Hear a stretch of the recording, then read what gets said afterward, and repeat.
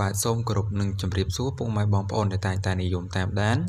ព័ត៌មាននិងចំណេះដឹងផ្សេងផ្សេងតាមរយៈបណ្ដាញសង្គម YouTube ជាទីមេត្រីនៅគណៈពេលនេះដែរខ្ញុំបាទមានព័ត៌មានថ្មីមួយទៀតហើយយកមកចែកជូនពុកម៉ែបងប្អូនទស្សនាកំសាន្តដែលមានចំណងជើងថាភ្ញាក់ផ្អើលក្រោយឃើញបវរកញ្ញាប្រទេសមួយក្រងពីឈុតដោយ Miss Universe រឿណាតកាលប្រឡងឆ្នាំ2018បេះដាក់ កន្លងទៅជិត1ឆ្នាំហើយដែលតារាស្រីអតីត Miss Universe Cambodia ឆ្នាំ2018កញ្ញារឿណាតបានឆ្លងកាត់ការប្រឡងយ៉ាងពោពេញដោយភាពរឹងមាំធ្វើឲ្យបណ្ដាអ្នកគ្រប់គ្រងជាច្រើនសរសើរក៏ដូចជាពេញចិត្តចំពោះការខិតខំរបស់នាងយ៉ាងខ្លាំងសម្រាប់ប្រទេសកម្ពុជាដោយឡែកងាកទៅមើលឈុតជាច្រើនដែលតារាស្រីរូបនេះបានពាក់នៅក្នុងការប្រឡងកាលពីឆ្នាំមុន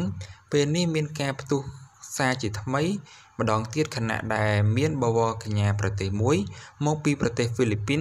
បានធ្វើការក្រងនៅឈុតពណ៌ក្រហមពីឈុតរបស់ នាងដូចគ្នាបេះដាក់តែម្ដងមិនត្រឹមតែប៉ុណ្ណោះការតបតែងខ្លួនសូម្បីតែស្បែកជើង ដែលពាក់ឡើងបង្ហាញម៉ូដនោះក៏ដូចគ្នាខណៈមិនដឹងថាឈុតទាំងពីរនេះជាឈុតដូចគ្នាតែមួយឬឬក៏ជាការកែកែច្នៃនោះទេបាទ តែទោះជាយ៉ាងណាក្តីបណ្ដាអ្នកគ្រប់គ្រងជាច្រើនមិនទាន់ជ្រាបទេថាឈុតរបស់អ្នកទាំងពីរបានក្រងនេះអ្នកណាពាក់មុននោះទេដូច្នេះហើយទើបកើតជាការងឿងឆ្ងល់ពីបណ្ដាអ្នកគ្រប់គ្រងជាច្រើនហេតុដូច្នេះមានតែការរងចាំការបកស្រាយតែប៉ុណ្ណោះបាទអញ្ចឹងអត្ថបទព័ត៌មាននេះសូមបញ្ចប់ទៅត្រឹមហ្នឹងសូមអរគុណសូមគោរពលា